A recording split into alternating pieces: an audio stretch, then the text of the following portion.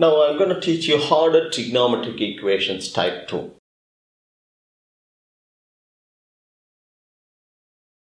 So before solving this, let me tell you this. There are several ways to solve a trigonometric equation. In fact, you can solve this using graphical method.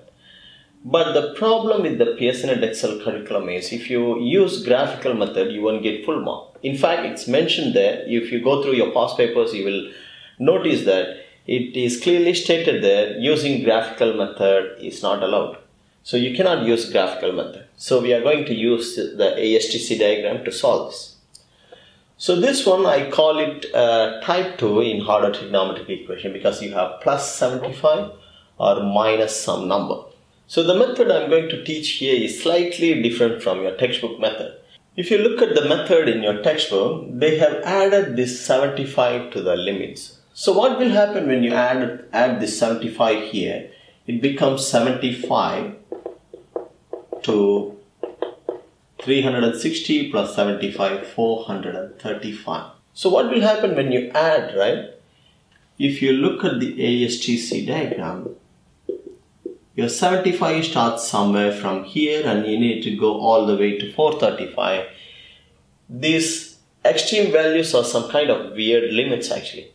So that's the reason I, I'm not going to follow this method because I don't want to disturb my need values here.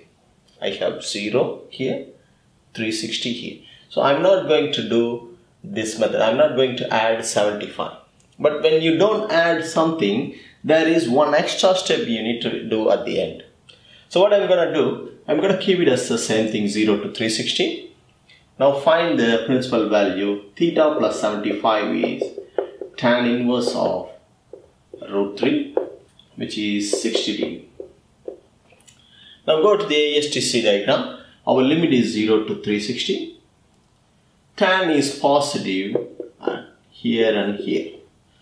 So it's theta and 180 plus theta. So theta plus 75 degree is theta which is your principal value and 180 plus theta which is 240 degree.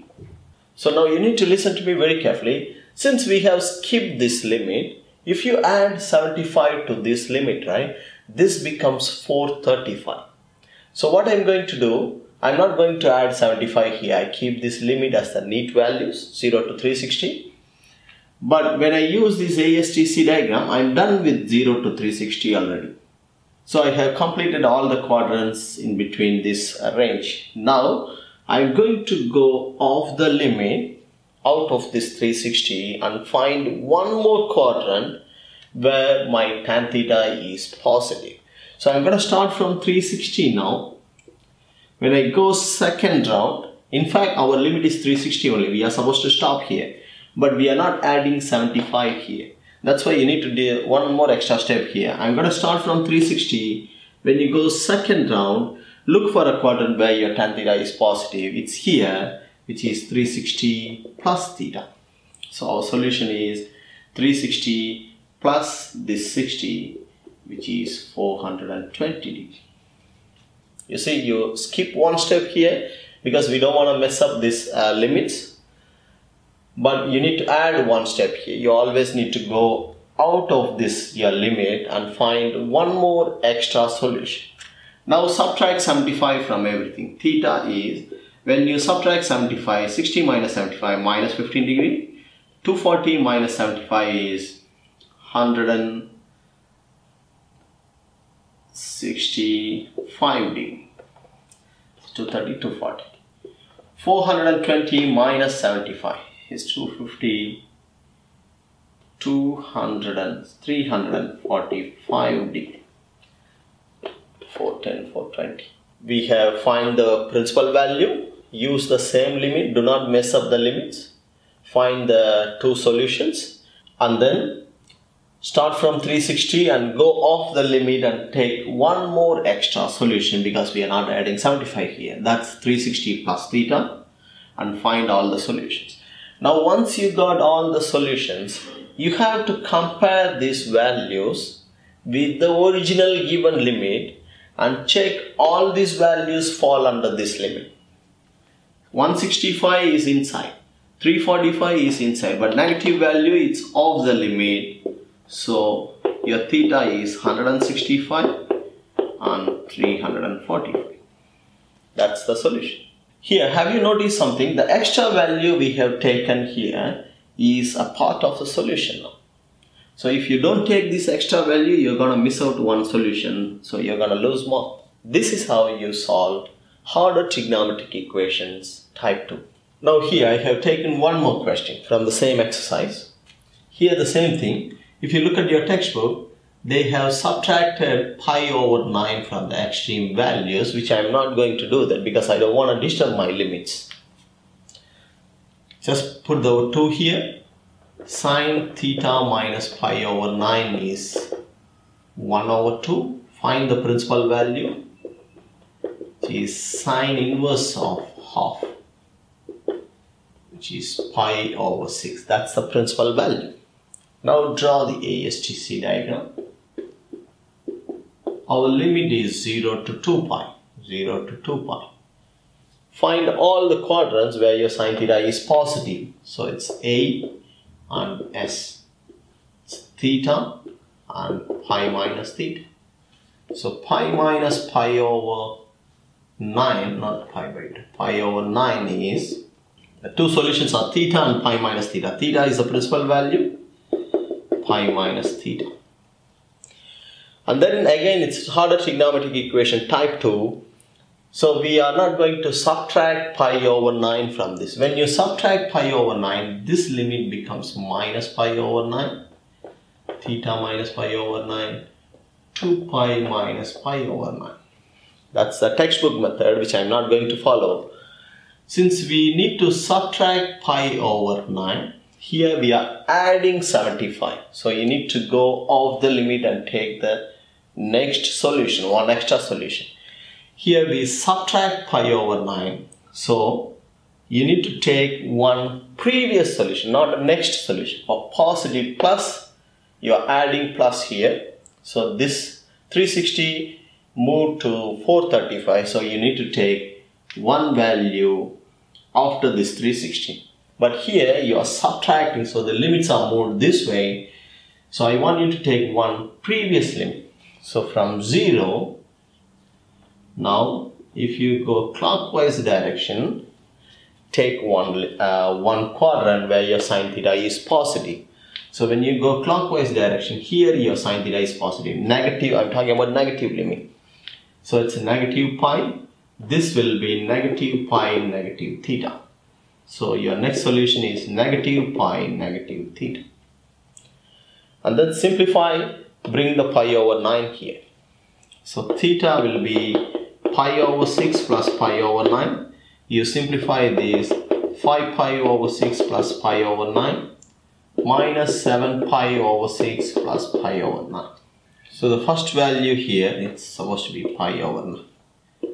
5 by 18 pi, comma, 17 over 18 pi, comma, minus 19 over 18 pi. So once we got all the solutions, our last step is compare the solutions with the given actual limit. So you need to compare these values with the given actual limit.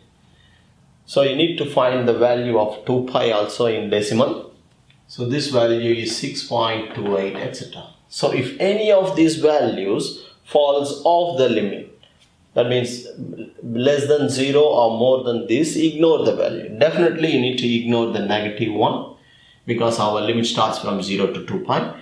Find the values of these two, the decimal values of these two answers and check whether they are less than 6.28. So I have verified both these values are less than 6.28 so these two are the valid solutions.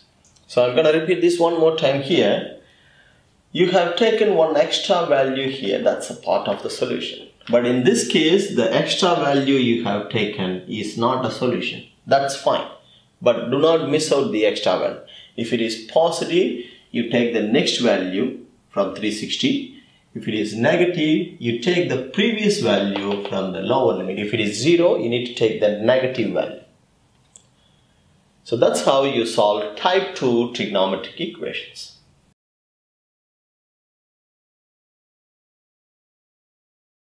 In this question number 8, there is a part A and part B. Part A is a trigonometric, harder trigonometric equations type 2. So first step, find the principal value. Sine x plus 20 equals sine inverse of half, which is 30 degree. And draw the ASTC diagram. Our limit is 0 to 180. So you don't need to take the whole circle.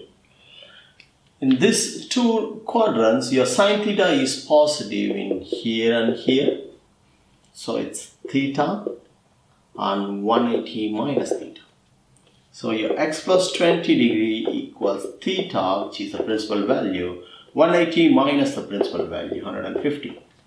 And then since it's type 2, we are not messing up the limit, given limit by adding 20 degrees. So we need to take one extra solution here. So you need to start from 180, go one more round and find where your sine theta is positive. It's not here, it's not here, it's here again. So when you reach here, it's 360. So it will be 360 plus theta. So 360 plus 30 is 390. Now subtract 20 from everything. X is 10 degree, 130 degree, 370 degree. We got three values. Now compare the values with the original given limit.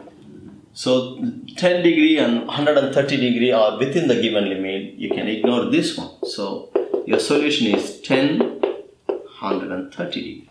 That's how you solve. This one harder trigonometric equations type 1 since you have 2x here you multiply the limits by 2 so it's 0 2 theta 360 degree. 180 becomes times 2 360 degree. So when you find the principal value ignore the negative sign. Just take the value. So the principal value is 2x equals 36.7 degree. Now draw the ASTC diagram our limit is 0 to 360 cos will be negative in here and here. So it's 180 minus theta 180 plus theta. So your 2x will be 180 minus the principal value which is 143.1 degree or 180 plus theta which is 216.7 degree. Divide everything by 2 that's your final answer 71.6 108.4. Here there is one more thing you need to take note. Try not try not to round the figure in between the calculations. So when you take the principal value, if you have 6, 5, etc, etc something, keep the value as it is. And then when you do the calculation, use the actual value. Do not use the rounded figure because if you use a rounded figure, you will have slightly different answer here. So use the actual value and find the x. Finally, you round it to one decimal place because the question says find the answer in one decimal place.